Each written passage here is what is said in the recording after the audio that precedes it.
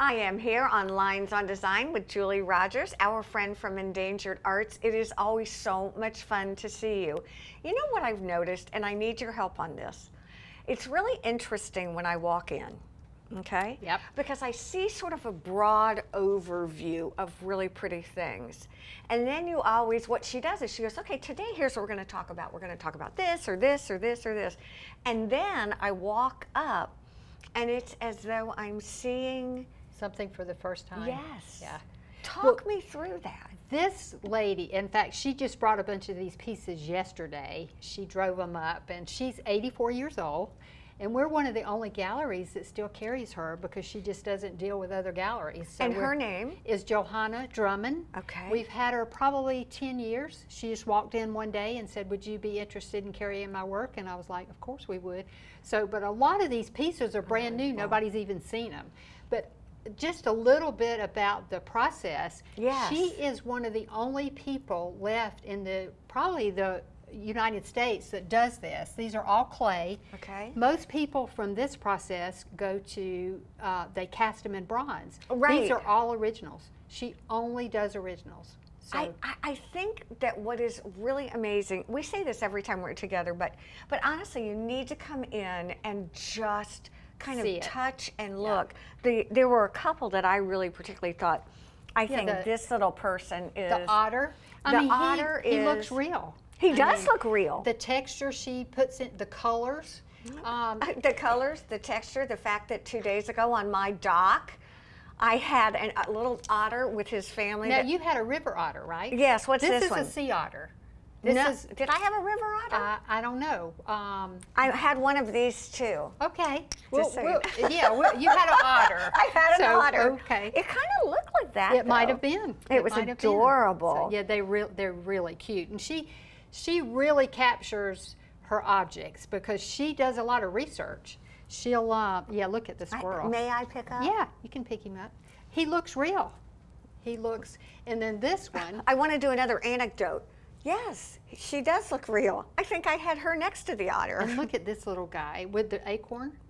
I mean, she just amazes us with what she does. I don't know if you can see this, and in fact, I know that you probably can't see it, but it's not just so much about her sculpture per se. It's about the attention to detail. Exactly. On the eyelash, Yeah. right? Did you notice that? Yeah, and the entire thing, like this, is a piece of wood, but it's it's um, clay. It's not wood. That's actually a piece of clay that she sculpted the log out of. Let me ask you a question about collectibles. Do you find that a lot of people come in and begin to collect pieces by certain artists? Artists. A lot of people collect her. So we actually put all these on Instagram yesterday. Oh, did- okay. Because a lot of people collect her, and as soon as she comes out with something new, they want it. You know. So you have a website, Instagram, all of that. So if, for example, I'm here on vacation, I run in, how does all that work? Well, we just you just come in and we try to figure out what you need to take home with you, Mm-hmm. or we'll go to your house and you know let you look at things. We take them out. A lot of times we'll let you keep them overnight if you're not Oh. sure.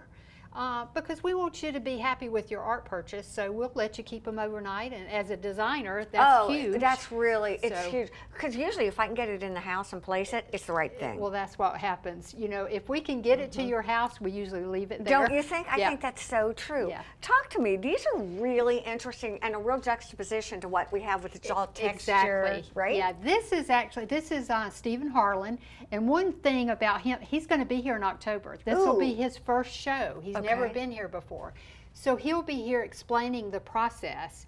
And it's a really, it's not like um, a normal piece of artwork that's painted. Okay. He starts out with a sketch, and then he's done these specially designed brushes, and he does it on the computer. On a On computer? On a computer. And What is the base? Is this? this is you can get this is actually aluminum, but you can get them on canvas as well. So this is actually printed. He has a file, and it's actually printed either on aluminum, which these are. This is what gives it the bright, uh, brilliant colors, or you can get them on um, canvas. What's his history? Obviously, he loves boats. Well, no, he does all kind of things. He loves to architect, like Oh, it's more these- yeah. architectural Um, pieces. but yes. he just none of these are real places. These are just places he's made up In his mind. in his mind. So we're real excited to have him here in October because when you talk to him and learn the process, Mm-hmm. it's such a unique thing. Um, it's just so different than most artists painting with, you know, oil paints or acrylics. This is actually done on a It's- computer. There again, talking about coming in and seeing, kind of getting an overview and then seeing things specifically. He, this is the kind of piece that almost mesmerizes you after a while. Especially this one. This Right? is called Midnight.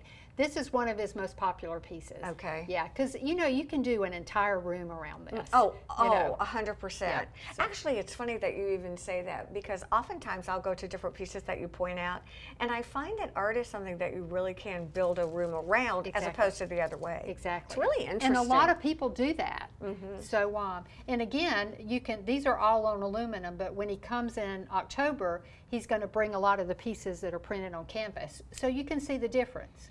So, Okay, well, this is fantastic. I think we're going to walk into another room and take a look. You've got a lot more We've to got show another us. artist that Let's go walk over. We are back here with Julie Rogers at Endangered Arts, and it's really interesting. I walk through here so often, and I tend to look at fun and funky and things like that. This is the first time I've really paid attention and stopped and looked at what I'm calling more formal art. The depth and richness of this guy's amazing. Amazing. Where are we? Who are we looking at? And I feel like it's three dimensional. I want to touch everything. Yeah, this is Reno Gonzalez. He's what we've got three of the uh, Gonzalez cousins in here, and this is one. He does, like you said, formal art. He does still life. This is kind of special to me because this is a photograph that I shot here um, several years ago, and then he painted it. The original is already sold, but this is a reproduction. So we have both originals and reproductions of his. And, and just to look at this, like Uh-huh. I said, I feel, Yeah. right? Do you Yeah. not feel like you want Yeah, to? Yeah, the paint's peeling off. It just looks, he's amazing. He was here a couple of years ago to do a big show for Mm-hmm. us. Some of his brushes had one hair in it. I mean, Ah. yeah, he is so detailed. What's his backstory? Tell me a little bit Well, about him as an artist. He is he's one of the cousins that grew up with their father and grandfather teaching them how to paint Okay. and draw. So he is so meticulous. I mean, all the all the guys are, but this is kind of his thing. This is his direction he went into versus the other wildlife guys and Exactly. Yeah. Well, it's interesting to me to listen to you talk about when when he's painting, he has a brush that actually has one hair in it. Mm-hmm. I think that many of us are so uh, mystified Mm-hmm. by what it takes. to do this. Right. What's it like for you and Clay? Because you're both artists to actually watch someone here Painting. doing the work. Yes. Does it Yeah. give you a better appreciation? Well, especially for Reno, because people couldn't believe they would go away and have a glass of wine and come back and and he you couldn't tell he had done anything because he, eh, he yeah Oh. very meticulous. He's uh, takes a long time to paint a painting. This is an original that he painted for us.